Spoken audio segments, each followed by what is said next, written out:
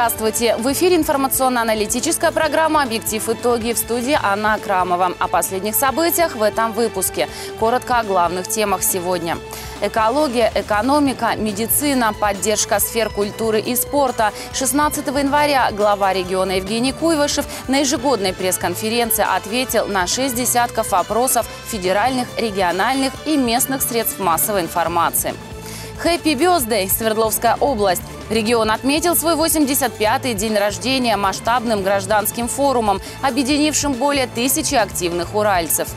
1650 новоуральцев окунулись в Крещенскую купель с 18 по 19 января на территории базы отдыха «Казантип» на акватории Верхневинского пруда. Из выпуска также узнаете, зачем в Новоуральскую гимназию сегодня приехал депутат ЗАГС Собрания Свердловской области Игорь Аксенов, о необычном празднике День снега, и о том, почему суровые водители Новоуральска не закрывают двери в автобусе, когда на улице минус 10. Подробности далее. В минувшие выходные православные всего мира отметили один из главных христианских праздников – Крещение Господне. На Среднем Урале подвели итоги крещенских купаний. В Свердловской области в ходе празднования в купели окунулись около 68 тысяч человек. Самыми популярными водоемами у свердловчан стали озеро Шарташ в Екатеринбурге и Тагильский пруд в Нижнем Тагиле. Как сообщает пресс-служба Главного управления МЧС по Свердловской области, в Екатеринбурге Итоге окунуться в проруби отважились 32 тысячи человек. Каких-либо происшествий в ходе крещенских купаний в регионе допущено не было.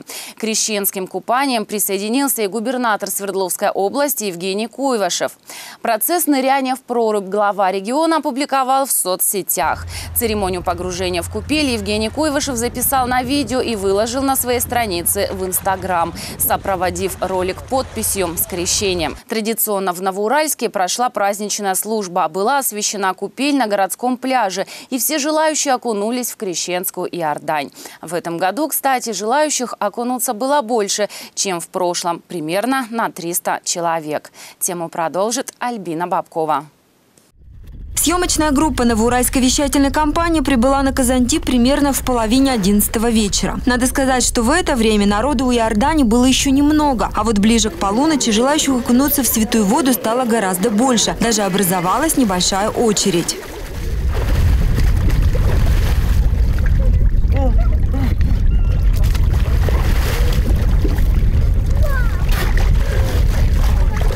Мужчины и женщины, взрослые дети, молодежь и люди почтенного возраста. В ночь с 18 на 19 января у Крещенской купели собрались все, для кого купание в Иордане не просто хорошая традиция, а вера в очищение. Каждый год и хожу, купаюсь. Для чего? Для здоровья. Не болеем, веруем. Так что очень хорошо. Себя потом чувствуешь неделю, наверное. На подъеме. На подъеме, да. Ну, вообще не первый год окунаемся.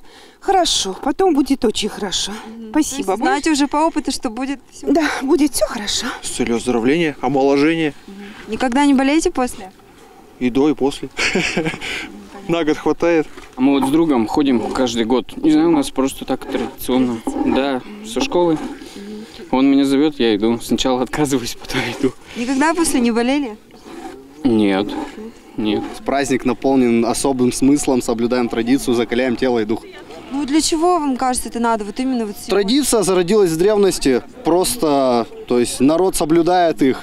Все супер. Все здоровы. И как переносите? Нормально? Отлично, отлично. Даже если первый раз страшно, забыть обо всем, перекреститься, прочитать молитву, и все будет хорошо. У кого-то хватало сил лишь на одно слово. Эмоции от омовения, хоть и хлестали через край, выразить было очень сложно. Хорошо. Грехи смы. Офигенный. Как ощущение? А, вообще!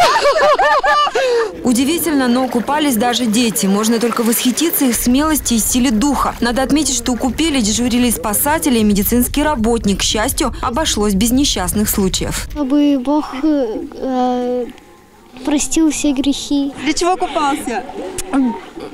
Просто для ощущений, да. Класс. Страшно было? Нормально. Молодец. А кто-то просто пришел поболеть за своих близких, окунуться в благостную атмосферу и приобщиться к праздничному настроению. Просто так, э, из э, любопытства посмотреть. Ну и праздник такой хороший, крещение Господне. Поздравляем! Поздравляем с замечательным праздником. С крещением Господним. Да. Ура. Будьте счастливы. Наши друзья купаются, им очень понравилось. Вообще прекрасное мероприятие. А вы сами что? Мы сегодня просто не совсем готовы, потому что ну, надо подготовить организм к этому мероприятию. То есть, ну, не так сразу все. Я думаю, что я искупаюсь, потому что я настраиваюсь сейчас, потому что я никогда не купался, но хочу искупаться, потому что э, доказать себе и людям, что нужно очистить грехи в этом мире. Вообще страшно? Ну, конечно, страшно, но как? Ну, сегодня не холодно, можно идти. Церковь говорит нам, что грех омывается не водой, а искренним и сердечным покаянием. На самом деле, сама традиция погружения в Иордань имеет для людей символическое значение. Для многих это будто начало новой жизни, надежда изменить что-то к лучшему. Кстати, температура воды в крещенскую ночь была минус 2 градуса, а температура воздуха минус 7. Многие купающиеся отмечают, что окунаться в крещенскую воду легче, когда на улице морозно. 1650 человек, ночью 350, остальные окунулись днем 19 января. Для сравнения, в прошлом году 1300 горожан посетили крещенскую купель. А в Новоуральском храме в ночь с 18 на 19 января шло праздничное богослужение. Множество верующих посетили его.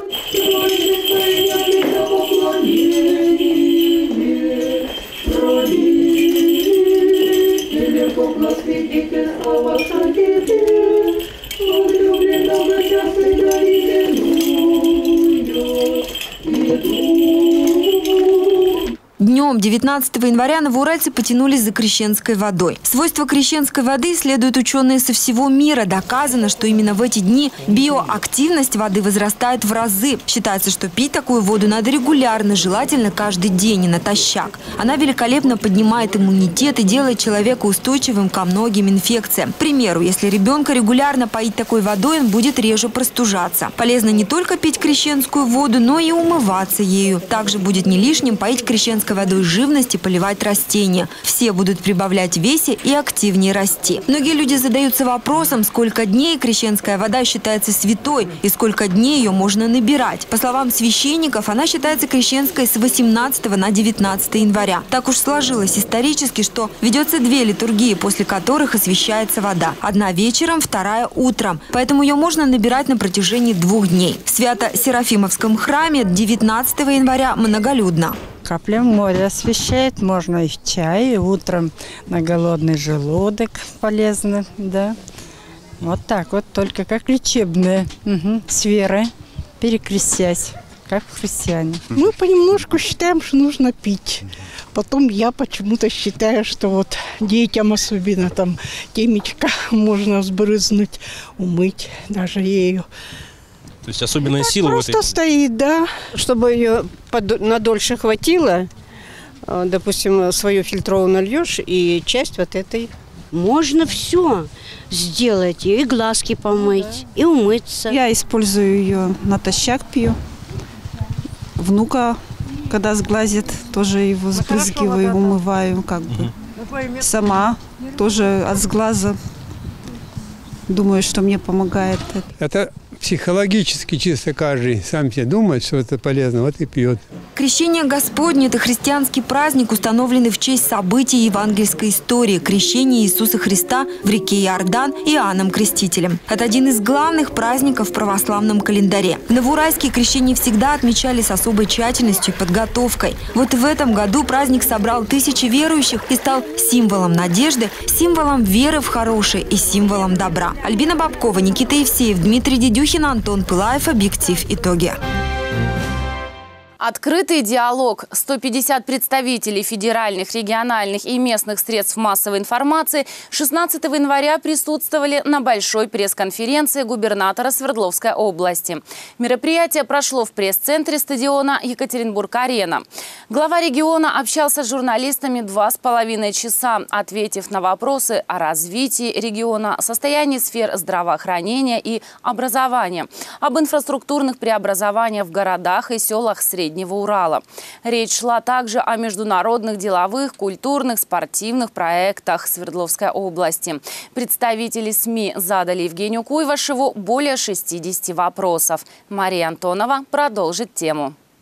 Ежегодная встреча главы Свердловской области с журналистами прошла в пресс-центре стадиона Екатеринбург-Арена. Выбор места проведения конференции не случайен. Он обусловлен особой значимостью площадки для нашего региона. В 2018 году на реконструированном стадионе на высоком организационном уровне прошли матчи чемпионата мира по футболу FIFA 2018, благодаря которым Свердловская область подтвердила статус территории, включенной в глобальные коммуникации. Губернатор ответил на шесть десятков вопросов о развитии региона, состоянии сферы здравоохранения и образования, об инфраструктурных преобразованиях в городах и селах Среднего Урала. Речь шла также о международных деловых, культурных, спортивных проектах региона. Евгений Куйвышев отметил, что в юбилейный для региона год 17 января Свердловская область отметила свое 85-летие. Екатеринбург станет площадкой таких значимых мероприятий, как чемпионат мира по боксу и глобальный саммит производства и индустриализации. Он пройдет на площадке «Иннопром-2019». На традиционной пресс-конференции губернатора говорили и о развитии промышленных кластеров региона. Частности, о перспективах особой экономической зоны «Титановая долина», где завод «Боинг» открыл самый большой в мире цех по металлообработке. Что касается сельского хозяйства, продовольственной безопасности региона и цен на продукты питания, то ответ Евгения Куйвышева на вопрос журналиста вызвал не только настоящий фурор в социальных сетях, но и уже получил поддержку производителя – птицефабрики «Рефтинская». Напомним, речь о том, что в продаже на территории страны и области появились упаковки из 9 яиц, которые стоят столько же, сколько десяток. На Урале упаковка будет всегда 10 яиц. Нет, я сейчас дам поручение, на Урале упаковка будет не менее 12 яиц. Даже не сомневайтесь в этом. Что касается мониторинга цен, действительно мы занимаемся этим. Э, этим занимаются много и контролирующих органов, и ФАС, который э, предостерегает производителей продавцов о сговоре.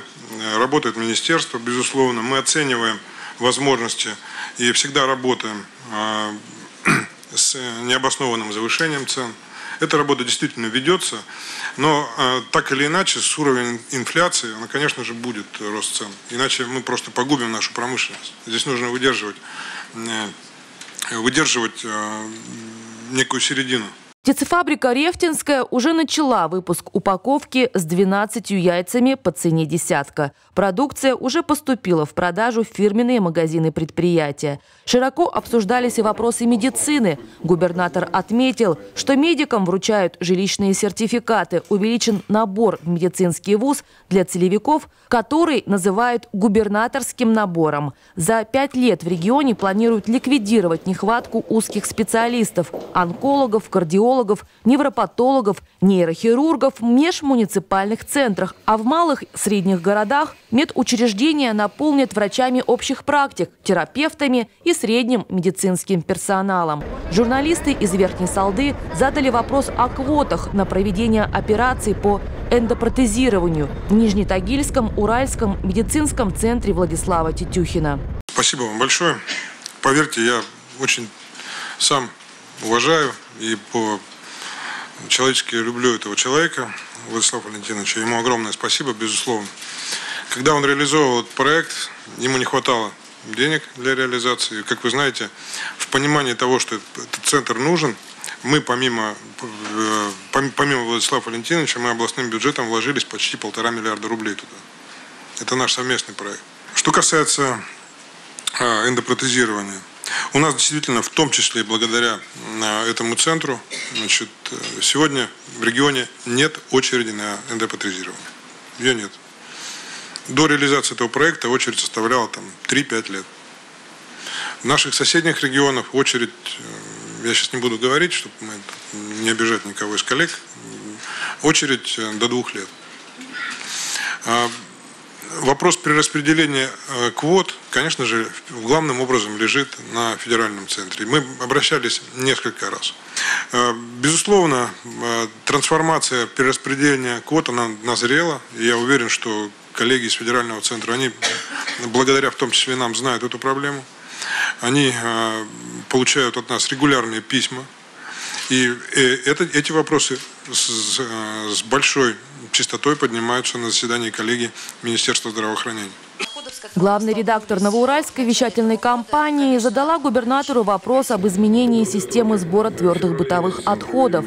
Какие системные подходы будут реализованы для улучшения экологии региона и городов, куда будут направлены деньги жителей? Ведь платежи за вывоз мусора значительно выросли. В частности, в Новоуральске региональный оператор озвучил сумму в 130 рублей с человека. Мусорная реформа, как ее называют, конечно же, а, это первый шаг к наведению порядка в этой сфере. Безусловно, это первый шаг определения маршрутизации мусора. А, куда мусор будет идти? Как он будет сортироваться? Если взять вот э, в ту пору, когда я еще работал, начинал работать в муниципальной службе, процент извлекаемого мусора достигал не более 5-7%. Упаковка другая была. Можно было в магазин прийти, купить мясо, оно завернутое будет в бумажку, и, собственно, перерабатывать там нечего. Не было так, такое огромного, огромного количества пластиковой, стеклянной э, упаковки и картонной упаковки. Сегодня с э, реализацией наших пищевой промышленности, э, не только пищевой, бытовой техники, изменился состав, и изменился состав мусора. И сегодня извлечение мусора может подвергаться для вторичной переработки в некоторых случаях до 70%. Что касается в Новоуральске, уже в этом году, там, кстати, будет, э, э, если мне память, да, в Новоуральске будет, будет э, строительство сортировочного завода, который будет, собственно, заниматься разделением этого мусора. А, соответственно, на захоронение, то, что раньше сваливалось все в общую кучу, и никто не занимался этим, а, сегодня захоронение будет подвергаться ну, до 30% от того, что сегодня мы имеем. Основная задача реформы – это улучшение экологии и переработка 70% отходов, что на порядок выше современного положения дел – в Новоуральске сортировочный завод построят на территории полигона «Ритуал». Но это полдела. Необходимо воспитать и у жителей привычку сортировать бытовые отходы и бережно относиться к природе. На вопрос о финансировании проектов по созданию комфортной городской среды в 2019 году Евгений Куйвышев Новоуральской телерадиокомпании пообещал продолжить поддерживать проекты муниципалитетов, отметив, что повышение качества и условий жизни во всех населенных пунктах Свердловской области – это приоритетная задача и региональных, и муниципальных властей. Главе региона были заданы вопросы по поддержке культуры, спорта и молодежной политики. Губернатор отметил, что в 2019 год, год театров, областной бюджет выделит 200 миллионов рублей на ремонт и оборудование и гастрольную деятельность театральных коллективов Среднего Урала. Особое внимание популяризации здорового образа жизни и спорта. В частности, журналисты поинтересовались, как удалось хоккейной дружине «Автомобилист» стать лидером группы и одержать громкие победы над самыми именитыми соперниками. А что касается автомобилиста, ну, конечно, я радуюсь вместе со всеми, кто болеет за нашу команду. И э, понимаете, я благодарен и Андрею Анатольевичу Казицыну, но больше деньги, бюджетные деньги, на поддержку профессионального клуба не выделяем. Мы как и выделяли по 300 миллионов рублей, так и выделяем. Только эти деньги из автомобилиста идут на развитие детского спорта. Вот, вот те арены, которые мы с УГМК строим сегодня по всему региону, а у нас их уже достаточное количество, и мы будем дальше продолжать это делать, а, способствует развитию детского спорта на местах. Летом этого года мы будем введем в эксплуатацию, она уже в очень хорошем процентной готовности, Академии хоккея. Отметим, что Евгений Куйвышев и сам крепко стоит на коньках, участвуя ежегодно в матчах, организованных Антоном Шипулиным и его благотворительным фондом. Кстати, с именитым биатлонистом губернатора связывают дружеские отношения. И не исключено, что талантливый спортсмен может продолжить карьеру как политик. Особое внимание лидер Свердловской области уделил журналистам молодежных средств массовой информации – Наша съемочная группа после пресс-конференции поинтересовалась у участников встречи о вопросах, которые они задали губернатору и о том, какие получили ответы. И в этом году нам удалось задать сразу два вопроса. Первый вопрос о том, как э, губернатор ведет свой инстаграм. Он рассказал, что он ведет большинство постов, делает сам, и фотографии выбирает с коллегами. И удалось спросить э, про такой самый у нас проблемный в городе вопрос, про цирк. Сейчас он под угрозой закрытия до сих пор из-за непоняток с пожарной безопасностью, с руководством. И вот нам удалось узнать, э, что дальше с ним будет. Я стараюсь постоянно бывать на пресс-конференциях у губернатора, потому что мне, во-первых, интересна информационная повестка, которую он формирует. Он дает нам ключевые понятия о том, чем должен жить регион, и как э, мы в медийной сфере э, в своих коммуникациях должны работать с населением, с властью, и какие акценты расставлять вот в этом вопросе. Э, мне вообще сегодня очень понравилась пресс-конференция, она была самая продолжительная, мне кажется. Он сам изменился. То есть видно, что вот эта работа для экспо, работа вот на других площадках, она изменила его самого, потому что было интересно. Он отвечал на любой вопрос. Я думаю, что были бы, если самые ехидные, самые еще более жесткие вопросы, он бы и на них смог ответить. Отметим, что в этот же день, 16 января, глава региона провел и традиционный прием для средств массовой информации. Евгений Куйвышев поздравил журналистов, работающих в Свердловской области, с Днем российской печати и поблагодарил Уральское медиасообщество за инициативность и неравнодушие к судьбе нашего региона и всей страны. Губернатор подчеркнул, что мощный медиарынок – это один из брендов Свердловской области. Мария Антонова, Лидия Голубева, Дмитрий Дедюхин. Объектив. Итоги. Одним из главных событий минувшей недели регионального масштаба, безусловно, можно считать празднование 85-летия Свердловской области. В день рождения региона 17 января в Екатеринбург-Экспо прошел масштабный гражданский форум «Свердловская область. Регион будущего». На эту тему вместе с жителями других муниципалитетов рассуждали и новоуральцы. Участники общественной палаты, активные ветераны и представители молодого поколения города. Вместе вместе с делегацией Новоуральска масштабное событие посетила и съемочная группа НВК. Подробности далее. Главным организатором гражданского форума выступила Общественная палата региона. Как рассказал ее председатель Александр Левин, у общества есть определенные потребности, и все усилия и властей, и деятельность общественных организаций должны быть направлены на удовлетворение этих самых потребностей. Сегодня запрос у людей как ни странно, на две вещи. На справедливость и на счастье. Счастья не хватает. Как его достичь? Чтобы каждый из нас был счастливым в нашей замечательной Свердловской области. Вот для этого мы тоже сегодня здесь собрались. Конечно, речь не идет о создании так называемого Министерства счастья, но подчеркивается важность совместных действий властей всех уровней и общества. Президент Владимир Путин в одном из своих выступлений подчеркнул, что без гражданского общества органам власти и чиновникам не осилить реализацию национальных проектов. На пленарном заседании было отмечено, что последовательное выполнение указов президента закреплено и в программе «Пятилетка развития». У нас есть программа «Пятилетка развития Свердловской области», инициированная нашим губернатором которая была подготовлена с учетом мнения экспертов и населения и сегодня полным ходом реализуется. А каждый уралец, по сути, своими делами и поступками создает лучшее будущее для себя, для своей семьи и для своего региона. А чтобы быстрее добиться этого наши предприятия, города, государственное управление должны быть действительно умными, цифровыми и современными. Урал – опорный край державы. Наши предки сделали все, чтобы область по праву считалась именно такой. В годы Великой Отечественной войны на Урале ковалась победа. Отсюда по всему Союзу звучал голос Левитана и уходил на фронт добровольческий танковый корпус. Сейчас наш регион должен оставаться в лидерах по всем направлениям. Гражданский форум собрал более тысячи человек, жителей самых разных муниципалитетов региона. И самое главное, он собрал представителей разных сфер деятельности. Развитие гражданского общества невозможно без активного развития, в том числе и бизнеса. Хотя, как и в других направлениях, здесь есть свои проблемы. Задача гражданского общества в том числе объяснить нам, всем, населению, людям нашим, что все зависит от вас. То есть если вы возьметесь, создадите там э, для себя хорошую среду, и так сделает каждый, то и вся среда будет лучше.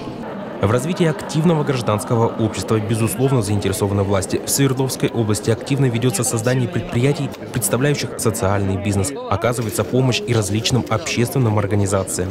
Не просто поддержка ради поддержки, а э, сознательное привлечение социально ориентированных некоммерческих организаций к участию в реализации социально значимых проектов для всей Свердловской области, а в рамках общей программной деятельности и проектной деятельности наших органов исполнительной власти мы прекрасно понимаем, что если у нас общественная организация в этой деятельности принимает участие, она реализует такой-то, такой-то проект, то мы в целом для Свердловской области получаем вот такой позитивный результат.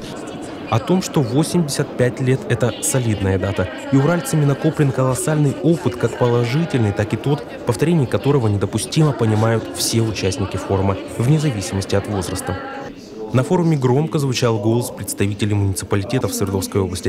Перед собравшимся была озвучена задача не допустить создания вакуума в малых городах, сделать все, чтобы молодежь оставалась на своей малой родине и возвращалась в города, если образование получает в мегаполисе. Добиться этого можно путем подключения молодых уральцев к решению городских проблем.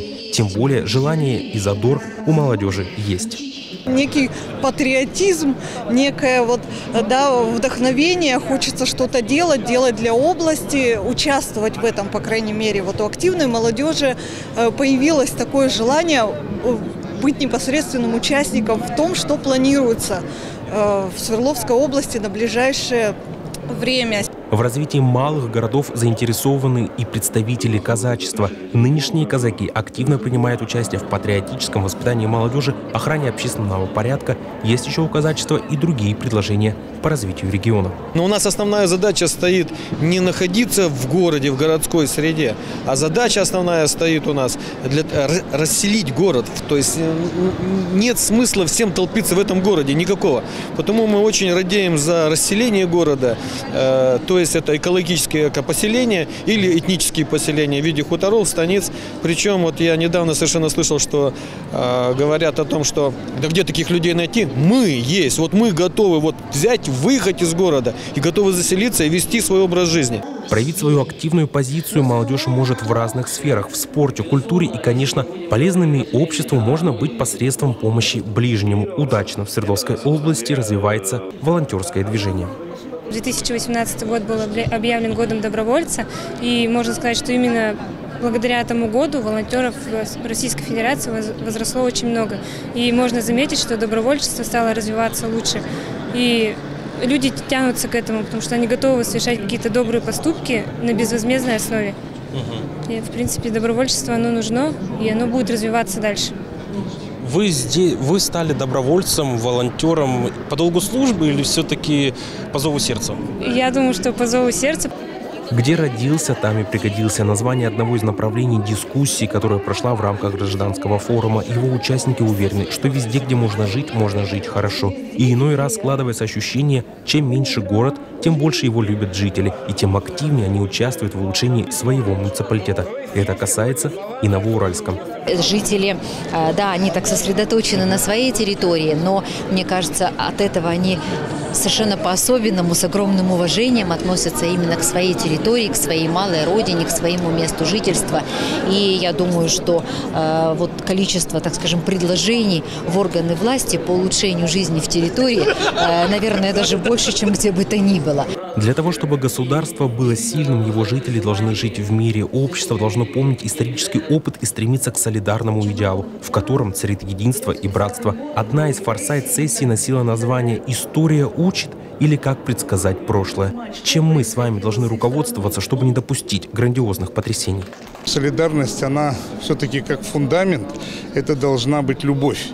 Потому что если вот любви не будет в фундаменте каких-то вот э, обществ, солидарности в обществе, то это потерпит как бы фиаско, крах какой-то. Вот. И поэтому, если будет любовь и понимание, что мы должны жить в правильном, э, справедливом обществе, заботящемся друг о друге, то вот, вот в такой форме, я думаю, что будет добрый успех. Урал – многоконфессиональный и многонациональный регион. Представители народов Урала очень разные, но между нами нет конфликтов. Мы едины и сильны и своим многообразием, и своей любовью к родному региону. Я э, хочу выразить свою благодарность, что я в этом городе живу и учился, работал, и мои дети здесь. Поэтому сегодня, пользуясь случаем, хочу поздравить всех жителей Свердловской области 85-летием образования нашей области. Пожелать здоровья, счастья, успехов, чтобы наша область развивалась, развивалась еще дальше.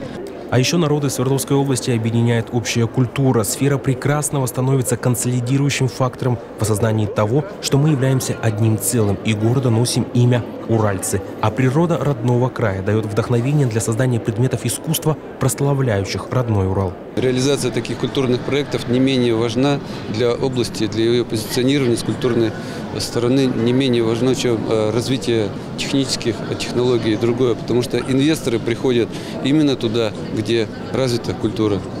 В развитии гражданского общества особую роль играет и средства массовой информации. Ведь именно журналист является той лакмусовой бумагой, которая показывает правильность или неправильность тех процессов, протекающих в обществе.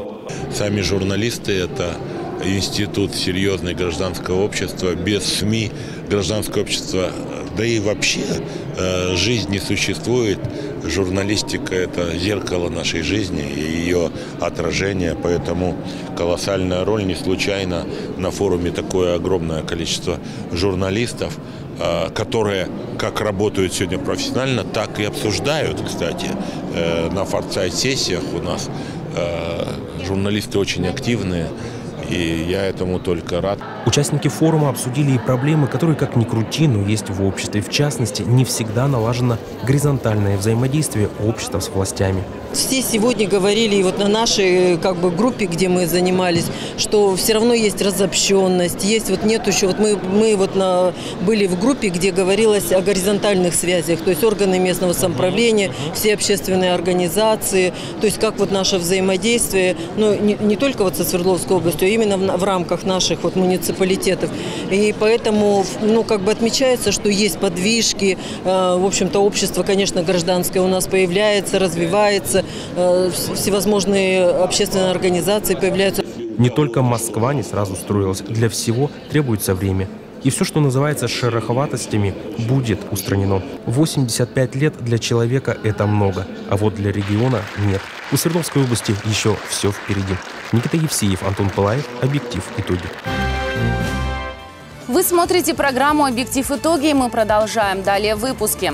Уральских водителей предупредили о предстоящих снегопадах, а пока дорожно-коммунальные службы справляются с последствиями выпавших накануне осадков. В коллективных садах в Мурзинке сгорела баня. Пострадавших нет. Площадь пожара составила 48 квадратных метров. Прокатил с ветерком. В Новоуральске водитель вез пассажиров с открытыми дверями. Причина – поломка устройства. Минувшая неделя завершилась для огнеборцев пожаром в садах. Вчера, 20 января, в садоводческом товариществе Мурзинская горела баня. Площадь пожара составила почти 50 квадратных метров. Открытое пламя тушили 8 новоуральских пожарных. Подробности далее. Поселок Мурзинка, как обычно, живет своей размеренной жизнью. Правда, сегодня есть повод для неотложных разговоров. Это пожар, произошедший в садах неподалеку от поселка. Вчера в садоводческом товариществе Мурзинская, как значится оно по документам, произошло возгорание бани. Очевидцами оказались соседи по участку, которые и вызвали огнеборцев. На место ЧП незамедлительно выехали несколько автомобилей спецтехники. В садовом домике, значит, э, в бане пришло возгорание. Общая площадь возгорания была 48 метров квадратных. Значит, э, сгорела полностью баня и надворные подстройки. Э, Причина возгорания устанавливается. Пожару была присвоена категория «Вызов номер один». Этот ранг определяет сложность пожара и количество задействованной спецтехники. В тушении огня были задействованы 8 человек личного состава, 2 единицы основной и одна дополнительной техники. Благодаря слаженным действиям распространения пожара на соседние строения новоуральские огнеборцы не допустили. Но в условиях похолодания окружающего воздуха э, жителям Городского округа, особенно прилегающим районам, хотелось бы пожелать смотреть за своим печным отоплением, за возгораниями, значит, э, предупреждать, своевременно сообщать пожарную охрану о возникших неприятностях. Пожар – это всегда опасность. Это самое распространенное бедствие во всем мире. Будьте бдительны. Не пренебрегайте элементарным правилам обращения с огнем, чтобы сберечь жизнь и имущество. Для новоуральских огнеборцев минувшая неделя была стабильно умеренной по количеству пожаров. Выезжали за неделю на вызов по тревоге 14 раз. Но каждое сообщение для личного состава – это риск для собственной жизни. Это необходимость в предотвращении опасностей как для людей, так и для их имущества. Это мобилизация сил, навыков и умений в борьбе с огнем. Будьте бдительны, задумывайтесь о последствиях своих действий и берегите себя и своих близких. Наталья Рау, Антон Пылаев, Дмитрий Дедюхин. Объектив. Итоги. Конструирование, моделирование, логическое инженерное мышление, воображение и навык работы в команде – все это развивает в школьниках конструктор Кубора. Несколько наборов, совершенствующих абстрактное мышление, появилось в городской гимназии. Кто поспособствовал в приобретении современных конструкторов и как они помогут гимназистам в постижении наук, узнала Мария Антонова.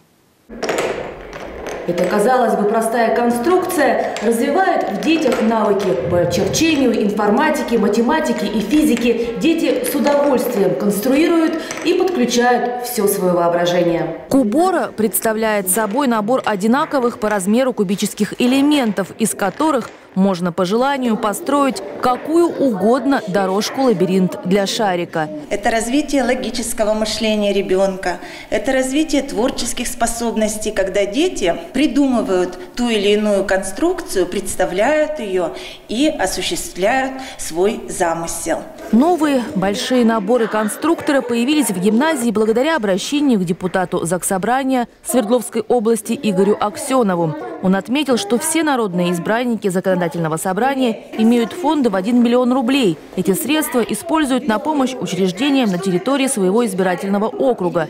На современные конструкторы для гимназистов Игорь Аксенов выделил 180 тысяч рублей. Я вижу, что ребятам интересно. Это те денежные средства, которые потрачены на благое дело. Ведь у нас проводятся соревнования не только на территории Свердловской области по конструированию из этих конструкторов, но и все российские соревнования. Я думаю, что буквально через несколько месяцев, когда ребята натренируются, они уже смогут принимать участие в этих, безусловно, интересных и нужных соревнованиях. Конструированием с одинаковым восторгом занимаются и дети, и взрослые. Кубора позволяет учащимся работать в качестве юных исследователей, инженеров, математиков и даже архитекторов. Самое интерес... интересное, что шарик катится по туннелям. Мне нравится, что мы всегда что-то новое изучаем, новые кубики. Отмечу, что конструктор был разработан в 1976 году в Швейцарии. В дальнейшем его усовершенствование и усложнение привело к тому, что теперь о Кубора говорят как об эффективной методике вхождения в инженерные специальности. Мария Антонова, Дмитрий Дедюхин, «Объектив. Итоги». Минувшая неделя была духовно насыщенной для новоуральцев. В канун Крещения Господня, о котором мы рассказывали в начале нашего выпуска, Новоуральск посетил владыка Евгений. Епископ Нижнетагильский и Невьянский, несмотря на плотный график, принял участие в официальном открытии выставки картин и пообщался с новоуральскими мастерами, преподавателями детской художественной школы. Чем удивили горожане владыку Евгения, расскажет Наталья Рау. Для новоуральского храма 15 января – особая дата. В православном календаре это день Серафима Саровского. В честь одного из самых почитаемых православных святых и назван городской храм. На его именины 15 января в Новоуральск приезжали почетные гости во главе с владыкой Евгением. Епископ Нижнетагильский Невьянский отслужил в храме имени преподобного Серафима Саровского утреннюю службу и пообщался с верующими. А сразу после, найдя время в плотном графике перед поездкой к губернатору, посетил уникальную новоуральскую художественную школу. Прекрасное здание, достойное, соответствующее тому содержанию, которое, что ни в подвале, ни в каком-то приспособленном, а вот такой дворец культуры. Замечательные светлые детские картины, взрослые. Кто-то говорил о споре религии и науки, религии и искусства, а это пример того, как они могут вместе развиваться, друг друга дополнять. Искусство и вера. Когда вера освещает искусство, искусство становится прекрасным, создаются шедевры. Я бы очень хотел пожелать, чтобы здесь создавались шедевры в плане работ и шедевры в плане воспитанников, чтобы отсюда выходили прекрасные люди, прекрасные личности. Вместе с почетными гостями владыка Евгений открыл в художественной школе сразу две большие выставки. Первая – линогравюры и гравюры на картоне «Храм в Березовой роще». Творили дети, учащиеся художественной школы. Десятилетняя Алина Щекалева уверена, когда люди увидят ее гравюру, то задумаются о чистоте души. С такими мыслями она работала над созданием своей гравюры в течение полугода. Мне это было нужно. Я хотела это сделать. Мы делали это из разного картона. Он разных видов. Работа, конечно, не из самых легких. Э, вдохновение я всегда как бы смотрела на иллюстрацию, думала, к примеру, что преобразить. Картона – это не так уж и сложно, но все равно надо иметь очень хорошую самовыдержку, так как это очень тонкая работа, работа святые песнопения. То есть вот у меня ангелы, вот их трубы, которые, они поют благие вести, благие песни. Для меня самым сложным это было вот обделывание вот этого контура всего. Я пожелаю им терпения, самовыдержки, чтобы они не ленились делать такую работу, потому что ее можно назвать ювелирной. Работы дети начали выполнять еще летом в пришкольном лагере под руководством своих преподавателей. И вот теперь на официальном открытии выставки ребят наградили благодарственными письмами за участие в проекте «Храм в Березовой роще», направленный на духовно-нравственное воспитание новоуральцев. Выставка увидела свет благодаря поддержке администрации города, отдела культуры, Уральского электрохимического комбината, общественной палаты и прихода во имя святого преподобного Серафима Саровского. Экспозиции получились как бы настолько насыщенные, что они как бы ну, такие трансформировались в две выставки, такие полноценные. И поэтому мы приглашаем всех новоуральцев вот, посетить эти выставки. В художественной школе открыли и еще одну выставку творческого объединения по возрождению традиций древнерусской живописи уникальной иконописной мастерской «Ковчег». Сюда владыка Евгений зашел, чтобы лично познакомиться с новоуральскими мастерами и своими глазами увидеть удивительные работы в художественном ремесле, кропотливо выполненные вручную. Эта икона знамени, которую реставрировал, она единственная икона, которая сохранилась. Я перевел точно по масштабам в, этом в рельеф и отлили из. Золотое шитье, роспись икон и другим удивительным техникам обучают здесь, в Новоуральской художественной школе. Во время общения с мастерами владыка Евгений выполнил мечту преподавателя Новоуральской художественной школы и пообещал помочь с учениками со всего Урала. Вы с ним составите материал, который мы на сайте у нас поставим, который мы раздадим э, отцам благочинным, чтобы они, так, ну, знаете, как вот объявляется набор, двоеточие, да. и контакта, чтобы они ваши записали, чтобы вы да. рассказали, поддержали, как записаться на эти курсы. Все, Это моя мечта. Выставка в честь именинника Новоуральского храма во имя преподобного Серафима Саровского гостей не оставила равнодушными. Глядя на гравюры, сразу вспоминается детство, когда родился и 13 лет прожил в поселке Верхневинский в бараке неподалеку от храма. Вспоминал на встрече глава Новоуральского округа Александр Баранов. Те действия, которые были в то время с храмом, они происходили на моих глазах. Мы пацанами бегали в храме, играли в войну, когда он разрушенный был. На моих глазах горел этот храм. На моих глазах рубили вековые сосны на кладбище. И комсомольцы э, хотели сделать там стадион. И загнали бульдозер. И я это помню своими глазами, видел, как бульдозер начал равнять могилы. И когда поднялись жители поселка, возмущенные, это дело было остановлено. И когда храм восстанавливался, мы помогали всем миром восстанавливать этот храм. И, конечно, вот поддержание таких духовных традиций – это, безусловно, необходимость сегодняшнего дня, потому что это способствует объединению жителей, объединению э, всех э, наших жителей нашей великой страны. В детстве часто посещали храм, а сегодня удается найти минутку? Да, конечно. И сегодня посещаем храм, и в это воскресенье были в Невьянском храме, на, который на кладбище в том храме.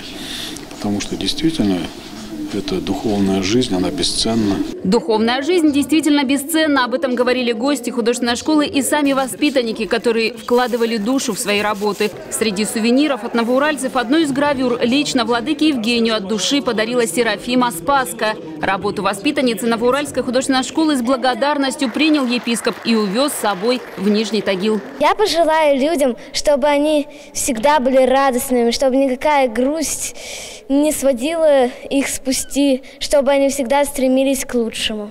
Новоуральская художественная школа «Светлый дворец». Снаружи и внутри и в таких храмах искусства уникальные работы создают светлые люди. На встрече в художественной школе владыка Евгений говорил о доброте, о красоте души и о духовно богатых людях, которые не сделают плохих поступков. А приумножать и обогащать внутренний мир и доброту очень просто, сказал епископ. Говорить человеку о том, что надо делать хорошо, когда взрослые говорят, дети, делайте хорошо, а потом взрослые выходят из класса или выходят из дома и начинают делать плохо – то они обесценивают те слова, которые, правильные слова, которые только что произнесли. Если мы хотим воспитать доброе будущее, доброе э, грядущее поколение, молодежь, чтобы она была правильной, секрет очень простой. Надо постараться самому э, быть этим примером. Если мы говорим, что курить плохо, надо не курить. Если мы говорим, что должна быть речь чистая, без э, грязных слов, то, соответственно, мы должны быть таким примером. Если кратко свести, то святой Серафим Саровский, сегодня же день памяти святого Серафима Саровского, он давал очень простой рецепт. Живи сам свято, сам спасайся, и вокруг тебя спасутся тысячи. Вот в его жизни так получилось. Сегодня все знают его имя, стараются ему подражать. Ну, мы не должны становиться прямо Серафимом Саровскими, но подражать должны. Знать, любить искусство, свою родину, свою веру, свой город. И дети полюбят. И будут рождаться чистые, светлые души. А ведь секрет действительно прост. Нужно начать с себя в повседневной жизни. Вместо того, чтобы нахамить, в ответ взять и извиниться. Быть добрым и вежливым не только в Божьем храме, но и выходя из церкви оставаться людьми. Светлыми, позитивными и человечными. Наталья Рау, Дмитрий Дедюхин, Александр Илюха. Объектив. Итоги. А снег идет. Уральских водителей предупредили о снегопадах. Непогода затронет Свердловскую и Тюменскую области. Соответствующее предупреждение распространила пресс-служба Уральского управления автомобильными дорогами. По данным ведомства, в ближайшие дни в Свердловской и Тюменской областях ожидается снег. Водители попросили быть особенно внимательными на дорогах, соблюдать дистанцию и скоростной режим, соответствующий погодным условиям. Дорожно-коммунальные службы справляются с последствиями прошедшего снегопада и в Новоуральске. В минувшие выходные в наш город, как и большую часть Среднего Урала, засыпало снегом. В каком режиме прошедшие дни отработали городские коммунальщики, расскажет директор ДКС Андрей Батраков. Слой выпавшего снега составил примерно 10 сантиметров. Днем в воскресенье и ночь на понедельник, значит, техника наша работала в режиме патрульной очистки. То есть э, основной выпавший снег убирался с проезжей части. Таким образом было обеспечено безопасное передвижение транспортных средств. В первую очередь это касалось пассажирского транспорта. Даже сейчас вот идет такой легкий снежок, который не прекращается. С утра техника вышла дочищать дороги, перекрестки. В ночь выйдет у нас тяжелая техника, это автогрейдера. Ну а так работа идет в обычном зимнем порядке. Прокатил с ветерком в прямом смысле. Сегодня утром в Новоуральске автобус 11 маршрута вез пассажиров с открытыми дверями. Поломка дверей произошла на остановке «Вокзал». Водитель сначала пытался сам починить дверь, но безрезультатно. В итоге полный автобус ехал по маршруту с открытой дверью. Как сообщили очевидцы, в салоне было жутко холодно. А ехать на подножке автобуса, рискуя при этом выпасть, пассажира, мягко говоря, было небезопасно. А том, какие меры будут приняты соответствующими структурами, мы сообщим в следующих наших выпусках. Вчера, 20 января, в Новоуральске отметили необычный праздник – Всероссийский день снега. Воскресный полдень на спортивной площадке физкультурно-спортивного клуба «Дружба» на Автозаводской, 16 было весело и шумно. Подробнее расскажет Альбина Бабкова. Зимние снежные забавы, веселые конкурсы, катание на лыжах, снегокате, сноуборде, розыгрыш лотереи и тематическая фотозона. День снега в Новоуральске организовал спортклуб «Кедр» при поддержке городских предпринимателей. Кстати, Всероссийский день снега был инициирован Международной федерацией лыжного спорта в 2012 году. Он отмечается в предпоследнее воскресенье января. Как задумали организаторы, этот день может дать всем возможность насладиться снегом, зимними забавами и окунуться в зимние виды спорта, которые будут восприниматься не только как соревнования, но и как развлечения. Упор, конечно же, снова делается на молодежь. Таким образом, Всемирный день снега выступает своего рода пропагандой здорового образа жизни и необходимости присутствия в ней спорта. В первый год существования январского праздника Всемирного дня снега около 20 стран мира приняли участие в торжествах по поводу единства снега и спортивных состязаний. В первую очередь в этот список вошли северные государства – Норвегия, Финляндия и Швейцария. Теперь фестивали снега стали популярными и в нашей стране, в том числе и в снежном Новоуральске.